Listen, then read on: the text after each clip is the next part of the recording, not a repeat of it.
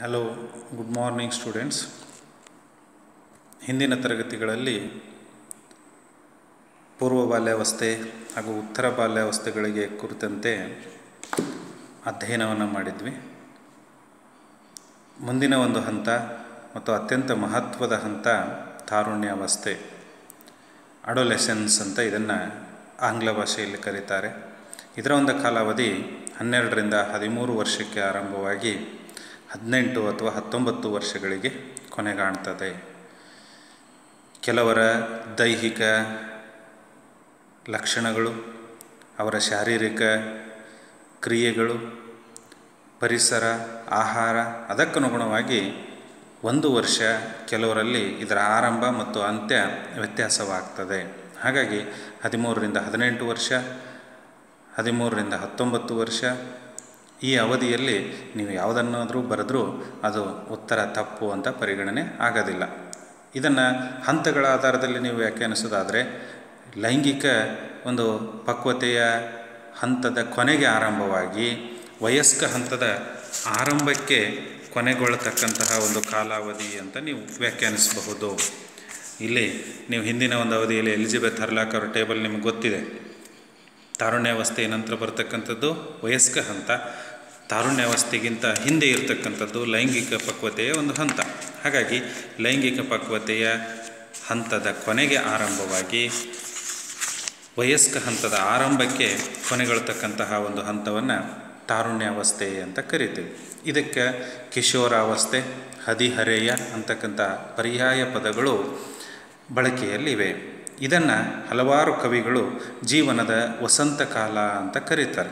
ವಸಂತ ಕಾಲ ನಿಸರ್ಗದಲ್ಲಿ ವಸಂತ ಕಾಲ ಬಂದಾಗ ಹೇಗೆ ಒಂದು ಆ ಲವಲವಿಕೆ ಆನಂತರ ಹಚ್ಚ ಹಸಿರಾಗಿರೋದು, ಎಲ್ಲ ಮರಗಿಡಗಳು ತಮ್ಮ ಪರಿಪೂರ್ಣ ಸೌಂದರ್ಯವನ್ನು ತೋರಿಸ್ತಕ್ಕಂತಹ ಕಾಲ ಅದೇ ರೀತಿ ಒಬ್ಬ ವ್ಯಕ್ತಿಯ ಜೀವನದಲ್ಲಿ ವಸಂತ ಕಾಲ ಯಾವುದು ಅಂತ ಹೇಳಿದರೆ ತಾರುಣ್ಯಾವಸ್ಥೆ. ಅಂದರೆ ನಿಮ್ಮಲ್ಲಿರೋ ಎಲ್ಲ ರೀತಿಯ ದೈಹಿಕ, ಮಾನಸಿಕ ಸಾಮರ್ಥ್ಯಗಳು ಪರಿಪೂರ್ಣತೆಯನ್ನು ಪಡಿತಾವೆ. ಅವು ಸಂಪೂರ್ಣ ಅಭಿವ್ಯಕ್ತಿಗೊಳ್ಳೋದಕ್ಕೆ ಈ ಒಂದು ಹಂತ ಕಾರಣ ಆಗ್ತದೆ. ಆದ್ದರಿಂದ ಇದನ್ನು ವಸಂತ ಕಾಲ ಅಂತ ಕರೀತಾರೆ. ಈ ಒಂದು ಸಂದರ್ಭದಲ್ಲಿ ಮಕ್ಕಳು ಬಾಲ್ಯಾವಸ್ಥೆಯಿಂದ ಪ್ರೌಢಾವಸ್ಥೆಗೆ ಅಥವಾ ಆ ಪ್ರೌಢಾವಸ್ಥೆಗೆ ಸಾಗ್ತಾರೆ. ಅವರು ಯುವಕ, ಯುವತಿಯರು ಅಂತ ಗುರುತಿಸಲ್, ಗುರುತಿಸಲ್ಪಡ್ತಾರೆ. ಅದರ ಜೊತೆಗೆ ಅವರ ಒಂದು ವೈಯಕ್ತಿಕ ಹೊಣೆಗಾರಿಕೆ, ಕರ್ತವ್ಯ, ಹಕ್ಕು ಬಾಧ್ಯತೆಗಳು ಜೊತೆಗೆ ತಮ್ಮ ಜೀವನವನ್ನು ತಾವು ನಿಭಾಯಿಸುವ ಎಲ್ಲ ರೀತಿಯ ಜ್ಞಾನ ಕೌಶಲ್ಯಗಳನ್ನು ಅವರು ಪರಿಪೂರ್ಣವಾಗಿ ಪಡೀತಾರೆ. ಅದಕ್ಕೆ ತಕ್ಕಂತೆ ದೈಹಿಕ ಸಾಮರ್ಥ್ಯಗಳು ಅವರಲ್ಲಿ ವಿಕಾಸ ಆಗ್ತಾ ಹೋಗ್ತವೆ. ಈ ಕಾರಣದಿಂದಲೇ ಇದನ್ನು ಅತ್ಯಂತ ಮಹತ್ವದ ಒಂದು ಜೀವನದ ಘಟ್ಟ ಮೈಲುಗಲ್ಲು ಅಂತ ಕರೀತಾರೆ.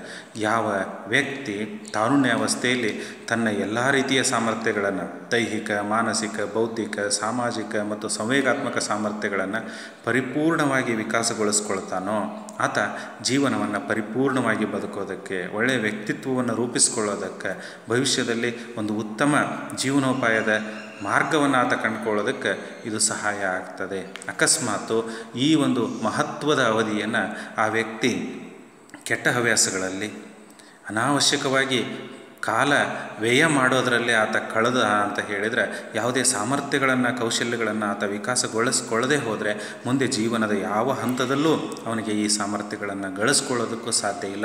ಭವಿಷ್ಯದಲ್ಲಿ ಉತ್ತಮ ಜೀವನವನ್ನು ರೂಪಿಸ್ಕೊಳ್ಳೋದಕ್ಕೆ ಕಷ್ಟ ಆಗ್ತದೆ. ಆದ್ದರಿಂದನೇ ಈ ಹಂತ ಅತ್ಯಂತ ಮಹತ್ವದ್ದು. ಬಹಳ ಬಹಳ ಮಹತ್ವದ್ದು. ನೀವು ಅದನ್ನು ಬಳಸ್ಕೊಂಡ್ರೆ ನೀವು ನೀವು ಅಂದ್ಕೊಂಡಂಥ ಗುರಿಯನ್ನು ಅತ್ಯಂತ ಶ್ರೇಷ್ಠವಾಗಿ ಮುಟ್ಟೋದಕ್ಕೆ ಮತ್ತು ಉತ್ತಮ ಜೀವನವನ್ನು ನಡೆಸೋದಕ್ಕೆ ಸಾಧ್ಯ. ಅದನ್ನು ನೀವು ಹಾಳ್ಗಿಡ್ಕೊಂಡ್ರಿ ಅಂತ ಹೇಳಿದರೆ ಕ್ಷಣಿಕ ಆಸೆ, ಸುಖಗಳಿಗಾಗಿ, ಸಂತೋಷಗಳಿಗಾಗಿ ನೀವು ಮಹತ್ವದ ನಿಮ್ಮ ಜವಾಬ್ದಾರಿಗಳನ್ನು ಮರೆತ್ರಿ ಅಂತ ಹೇಳಿದರೆ ನಿಮ್ಮ ಜೀವನ ಅಧೋಗತಿ ಕಡೆಗೆ ಸಾಗ್ತದೆ. ಮುಂದೆ ಯಾವತ್ತೂ ಅಲ್ಲಿಂದ ನೀವು ಎದ್ದು ಬರೋದಕ್ಕೆ ಸಾಧ್ಯ ಆಗೋದಿಲ್ಲ. ಆ ದೃಷ್ಟಿಕೋನದಿಂದ ಇದನ್ನು ಮಹತ್ವದ ಒಂದು ಹಂತ ಅಂತ ಕರೀತಾರೆ. ಆಂಗ್ಲ ಭಾಷೆಯಲ್ಲಿ ತಾರುಣ್ಯಾವಸ್ಥೆಗೆ ಅಡೋಲೆಸೆನ್ಸ್ ಅಂತ ಕರಿತೀವಿ. ಲ್ಯಾಟಿನ್ ಪದ ಅಡೋಲೆಸರ್ ಅನ್ನಂಥ ಪದದಿಂದ ಇದು ಬಂದಿದೆ. ಅದರ ಅರ್ಥ ಏನು ಅಂದರೆ ಪರಿಪಕ್ವತೆಯ ಕಡೆಗೆ ಸಾಗೋದು.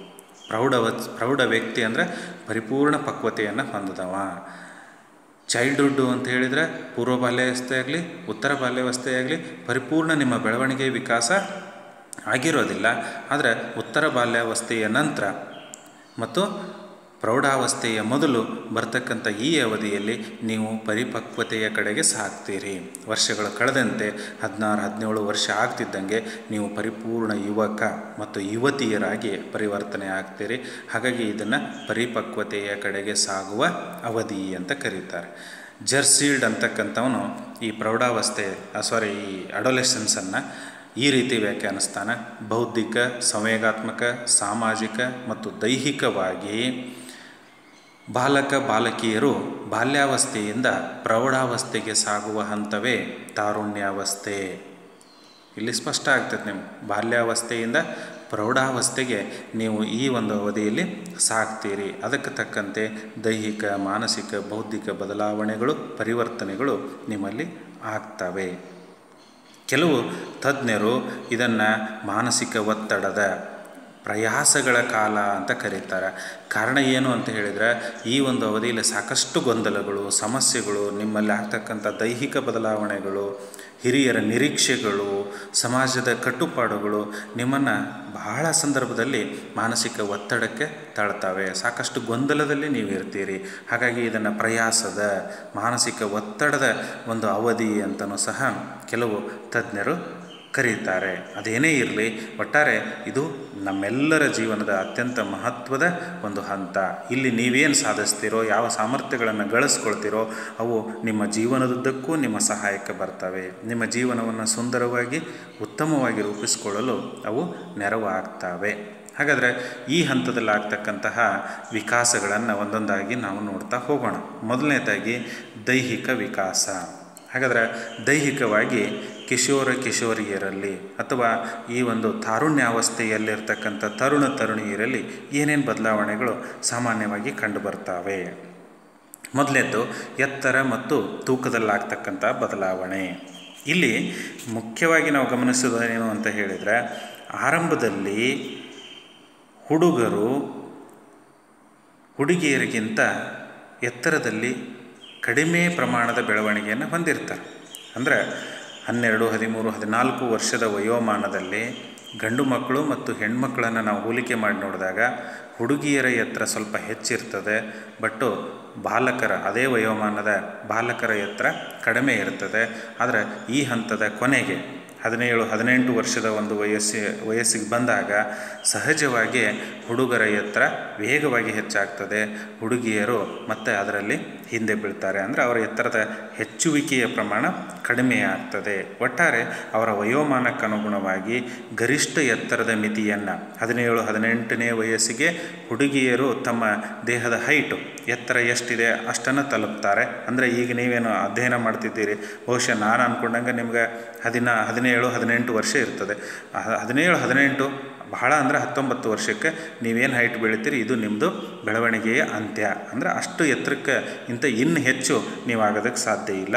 ಅದೇ ಹುಡುಗರು ಹದಿನೆಂಟು, ಹತ್ತೊಂಬತ್ತು ವರ್ಷಗಳವರೆಗೂ ಅವರಲ್ಲಿ ಬೆಳವಣಿಗೆ ಇರ್ತದೆ. ಅಂದರೆ ಈ ವಯಸ್ಸಿಗೆ ಅವರು ತಮ್ಮ ಬೆಳವಣಿಗೆಯ ಗರಿಷ್ಠ ಮಿತಿಯನ್ನು ತಲುಪ್ತಾರೆ. ಅದರ ಜೊತೆಗೆ ಅವರ ದೇಹದ ಎತ್ತರಕ್ಕನುಗುಣವಾದಂತಹ ತೂಕ ಅವರಲ್ಲಿ ಕಂಡುಬರುತ್ತದೆ ಮತ್ತು ಆ ಒಂದು ಲಿಂಗ ವ್ಯತ್ಯಾಸ ಗಂಡು, ಹೆಣ್ಣು ಅದಕ್ಕೆ ಸಂಬಂಧಪಟ್ಟಂತೆ ಸಾಕಷ್ಟು ಸ್ಪಷ್ಟ ವ್ಯತ್ಯಾಸಗಳನ್ನು ನಾವಿಲ್ಲಿ ಗಮನಿಸ್ತಾ ಹೋಗ್ತೇವೆ.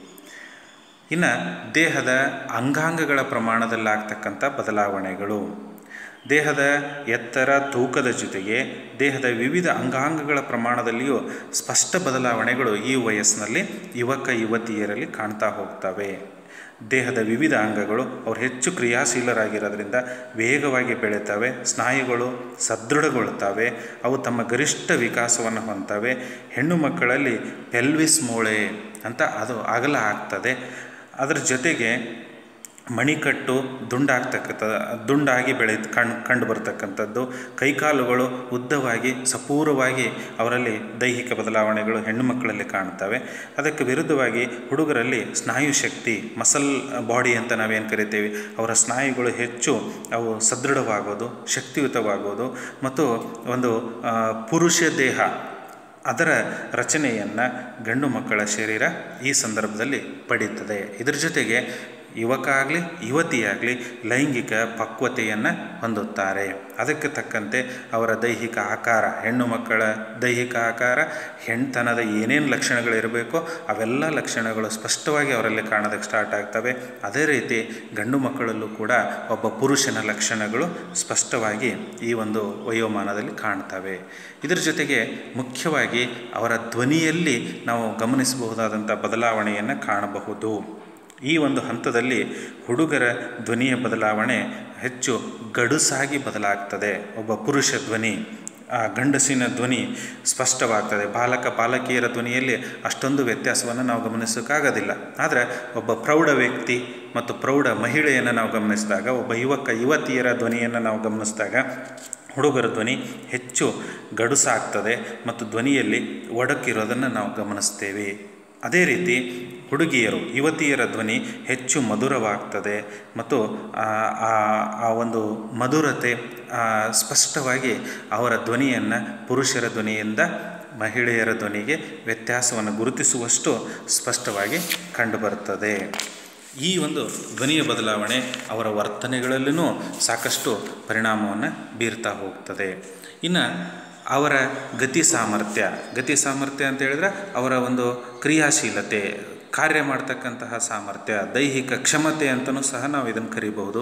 ಅವರ ದೈಹಿಕ ಚಟುವಟಿಕೆಗಳಲ್ಲಿ ಹುಡುಗಿಯರು ಸಾಮಾನ್ಯವಾಗಿ ಕಡಿಮೆ ಆಸಕ್ತಿಯನ್ನು ತೋರ್ತಾರೆ. ಆದರೆ ಇದೇ ವಯಸ್ಸಿನ ಹುಡುಗರು ಬಹಳ ಕ್ರಿಯಾಶೀಲರು, ನಿರಂತರವಾಗಿ ಹಲವಾರು ಚಟುವಟಿಕೆಗಳಲ್ಲಿ ತೊಡಕೊಳ್ಳೋದ್ರ ಜೊತೆಗೆ ಅವರಿಗೆ ಆಯಾಸದ ಒಂದು ಪರಿಣಾಮ ಕಡಿಮೆ ಆಗ್ತದೆ.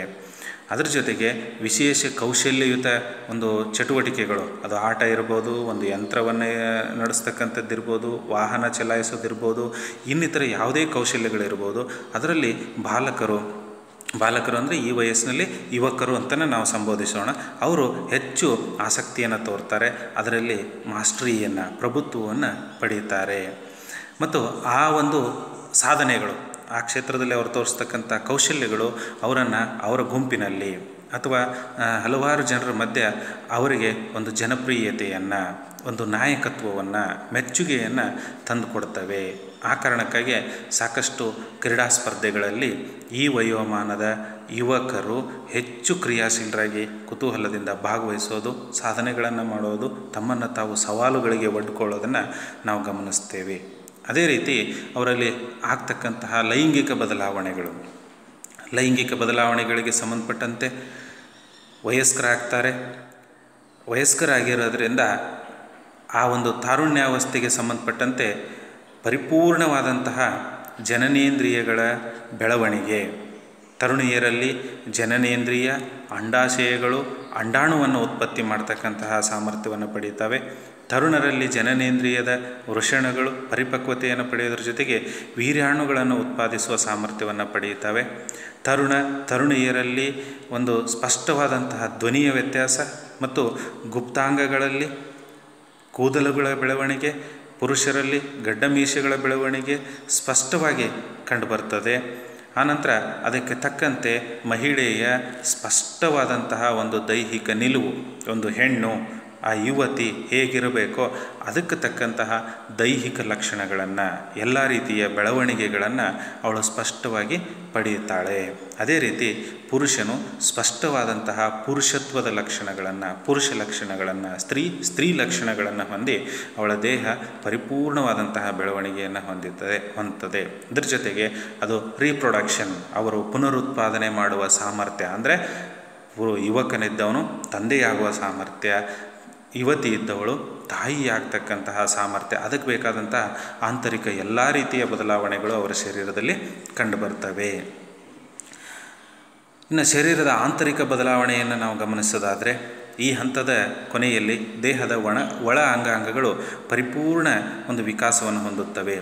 ಜೀರ್ಣಾಂಗ ವ್ಯೂಹ ಇರ್ಬೋದು, ಶ್ವಾಸಕಾಂಗ ವ್ಯೂಹ ಇರ್ಬೋದು, ರಕ್ತ ಪರಿಚಲನಾ ವ್ಯೂಹಗಳು ಪರಿಪೂರ್ಣವಾಗಿ ಬೆಳೆದು, ಅವುಗಳು ಹೃದಯ, ಮೆದುಳಿನ ಪರಿಪೂರ್ಣ ಬೆಳವಣಿಗೆ ಆಗಿ ಆಂತರಿಕ ಕ್ರಿಯೆಗಳು ಸಮರ್ಪಕವಾಗಿ ಇಲ್ಲಿ ವಿಕಾಸವನ್ನು ಹೊಂದುತ್ತವೆ. ಇದರ ಜೊತೆಗೆ ನಿರ್ನಾಳ ಗ್ರಂಥಿಗಳು ದೇಹದ ಆಂತರಿಕವಾಗಿ ಹಾರ್ಮೋನುಗಳನ್ನು ಸ್ರವಿಸ್ತಕ್ಕಂತಹ ನಿರ್ನಾಳ ಗ್ರಂಥಿಗಳು ತಮ್ಮ ಕಾರ್ಯವನ್ನು ಸಮರ್ಪಕವಾಗಿ ಮಾಡೋದಕ್ಕೆ ಈ ಅವಧಿಯಲ್ಲಿ ಆರಂಭಿಸ್ತವೆ. ಈ ಎಲ್ಲ ಕಾರಣದಿಂದ ದೈಹಿಕವಾಗಿ ಸಾಕಷ್ಟು ಬದಲಾವಣೆಗಳನ್ನು ಒಬ್ಬ ಬಾಲಕ ಬಾಲಕಿಗೆ ಹೋಲಿಸಿದಾಗ ಯುವಕ ಯುವತಿಯರಲ್ಲಿ ವ್ಯತ್ಯಾಸಗಳನ್ನು ನಾವು ಗಮನಿಸ್ತೇವೆ ಆ ಎಲ್ಲ ವ್ಯತ್ಯಾಸಗಳು, ಬದಲಾವಣೆಗಳು ಅವರಲ್ಲಿ ಸಾಕಷ್ಟು ವರ್ತನಾ ಬದಲಾವಣೆಗಳನ್ನು, ಅವರ ನಡತೆಯಲ್ಲಿ ಬದಲಾವಣೆಗಳನ್ನು ನಾವು ಕಾಣೋದಕ್ಕೆ ಸಾಧ್ಯ ಆಗ್ತವೆ.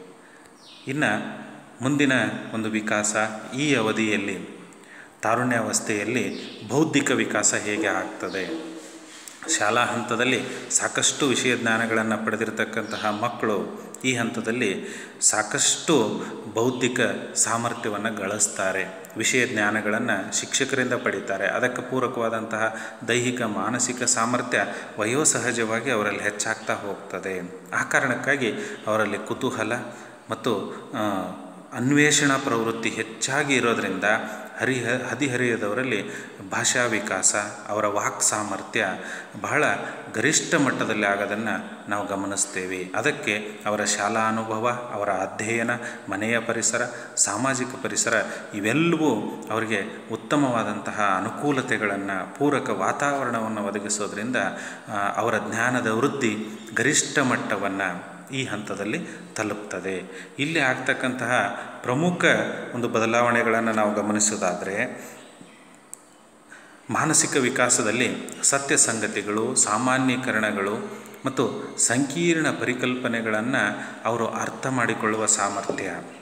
ಅಂದರೆ ಯಾವುದೇ ಚಿತ್ರಗಳನ್ನು ನೋಡದೆ ವಿವರಣೆಯ ಮೂಲಕ ವಿಷಯವನ್ನು ಗ್ರಹಿಸ್ತಕ್ಕಂಥದ್ದು. ಅಲ್ಲಿರ್ತಕ್ಕಂತಹ ತತ್ವ, ಸೂತ್ರಗಳನ್ನು ಆಧರಿಸಿ ಇನ್ನಿತರೆ ಲೆಕ್ಕಗಳನ್ನು ಬಿಡಿಸ್ತಕ್ಕಂಥದ್ದು.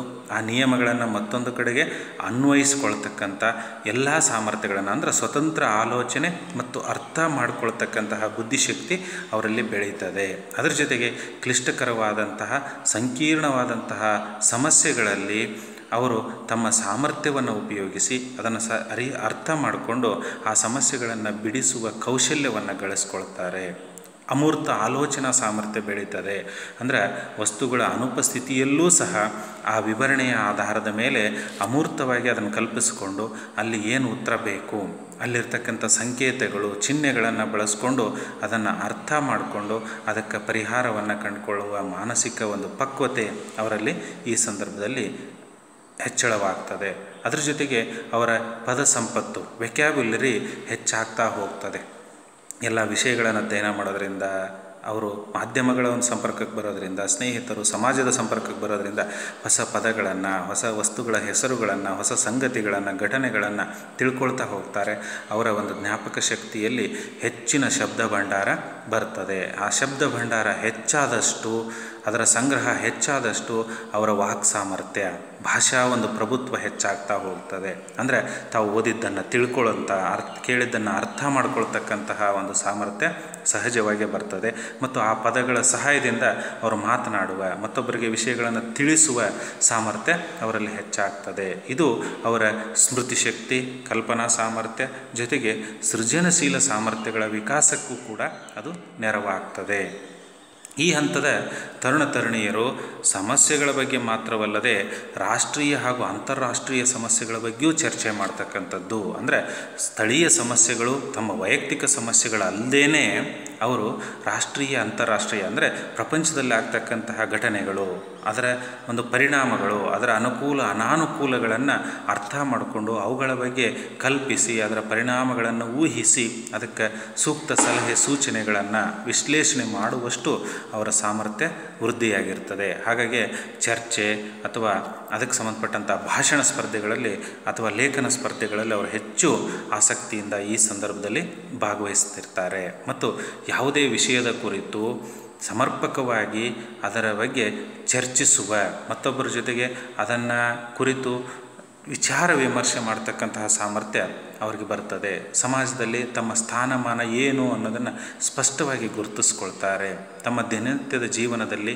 ಹೊಂದಾಣಿಕೆ ಮಾಡಿಕೊಳ್ಳಲು ಬೇಕಾಗ್ತಕ್ಕಂಥ ನಿರ್ಧಾರಗಳನ್ನು, ಮನೆಯಲ್ಲಿರ್ತಕ್ಕಂಥ ತಂದೆ, ತಾಯಿ, ಅಣ್ಣ, ಅಕ್ಕ ಅವರ ಒಂದು ಸ್ವಭಾವ, ಅವರ ನಿರೀಕ್ಷೆಗಳನ್ನು ಆಧರಿಸಿಕೊಂಡು ಅದಕ್ಕೆ ತಕ್ಕಂತೆ ತಮ್ಮ ವರ್ತನಾ ಬದಲಾವಣೆಗಳನ್ನು ಮಾಡಿಕೊಳ್ತಾರೆ. ಇದರ ಜೊತೆಗೆ ಅವರ ಒಂದು ಆತ್ಮವಿಶ್ವಾಸ, ಮತ್ತೊಬ್ಬರ ನಂಬಿಕೆಯನ್ನು ಹೆಚ್ಚಿಸ್ಕೊಳ್ಳೋದಕ್ಕೆ ಇದು ನೆರವಾಗ್ತದೆ. ಆದರ್ಶ ಹಾಗೂ ವಾಸ್ತವಿಕತೆಗಳ ವ್ಯತ್ಯಾಸವನ್ನು ತಿಳಿಯಬಲ್ಲರು. ಆದರ್ಶ ಅಂದರೆ ಏನು? ವಾಸ್ತವ ಏನು? ಇದರ ವ್ಯತ್ಯಾಸವನ್ನು ಅವರು ಸ್ಪಷ್ಟವಾಗಿ ಗುರುತಿಸ್ತಾರೆ. ತಮ್ಮ ಸಾಮರ್ಥ್ಯಗಳು, ಮಿತಿಗಳನ್ನು ಸಹ ಅವರು ಅರ್ಥ ಮಾಡ್ಕೊಳ್ಬಲ್ಲರು ಅಂದರೆ ಇದನ್ನು ಸ್ವಯಂ ಅರಿವು ಅಂತ ಕರೀತಾರೆ. ಅಂದರೆ ನನ್ನ ಕೆಪಾಸಿಟಿ ಏನು? ನಾನು ಏನೇನು ಮಾಡಬಲ್ಲೆ ಯಾವುದು ನನ್ನಿಂದ ಆಗೋದಿಲ್ಲ. ಯಾವುದು ನನಗೆ ಕಷ್ಟ ಅನ್ನೋದನ್ನು ತಮ್ಮ ಸಾಮರ್ಥ್ಯಗಳನ್ನು, ತಮ್ಮ ದೌರ್ಬಲ್ಯಗಳನ್ನು ಅವರು ಸ್ಪಷ್ಟವಾಗಿ ಈ ಸಂದರ್ಭದಲ್ಲಿ ಗುರುತಿಸ್ಕೊಳ್ತಾರೆ. ಅವುಗಳನ್ನು ಅರ್ಥ ಮಾಡ್ಕೊಳ್ಳೋದಕ್ಕೆ ಸಾಧ್ಯ ಆಗ್ತದೆ. ವೈಜ್ಞಾನಿಕ ಚಿಂತನೆ, ವೈಜ್ಞಾನಿಕ ಮನೋಭಾವನೆ ಬೆಳವಣಿಗೆಯಾಗ್ತದೆ. ಯಾವುದೇ ರೀತಿಯ ಮೂಢನಂಬಿಕೆಗಳು, ಕಂದಾಚಾರಗಳು ಇವನ್ನ ಬಿಟ್ಟು ವೈಜ್ಞಾನಿಕವಾಗಿ ಯಾವುದು ಸತ್ಯವೋ, ಯಾವುದು ವಾಸ್ತವವೋ ಅದನ್ನು ಅರ್ಥ ಮಾಡಿಕೊಂಡು ಆಚರಿಸ್ತಕ್ಕಂತಹ ಒಂದು ಪರಿಜ್ಞಾನ ಆ ಒಂದು ವಯೋಮಾನದಲ್ಲಿ ಅವರಲ್ಲಿ ಬರ್ತದೆ. ಇದರ ಪ್ರತಿಫಲವಾಗಿಯೇ ಅವರಿಂದ ಹೊಸ ಹೊಸ ರಚನೆಗಳು ಕತೆ ಕವನಗಳು, ಹೊಸ ಲೇಖನಗಳು, ನಾಟಕಗಳು, ಸೃಜನಶೀಲ ಚಟುವಟಿಕೆಗಳು ನೃತ್ಯ, ಇನ್ನಿತರ ಒಟ್ಟಾರೆ ಸೃಜನಾತ್ಮಕ ಚಟುವಟಿಕೆಗಳು ಅವರಿಂದ ಆಗ್ತವೆ. ಅಂದರೆ ಬೌದ್ಧಿಕವಾಗಿ ಪರಿಪೂರ್ಣ ವಿಕಾಸವನ್ನು ಅವರು ಈ ಹಂತದಲ್ಲಿ ಹೊಂದುತ್ತಾರೆ. ಮುಂದಿನ ಒಂದು ತರಗತಿಯಲ್ಲಿ ಸಾಮಾಜಿಕ ವಿಕಾಸ, ತಾರುಣ್ಯಾವಸ್ಥೆಯಲ್ಲಿ ಸಾಮಾಜಿಕ ವಿಕಾಸ ಹೇಗೆ ಆಗ್ತದೆ ಅನ್ನೋದನ್ನು ನೋಡೋಣ. Thank you.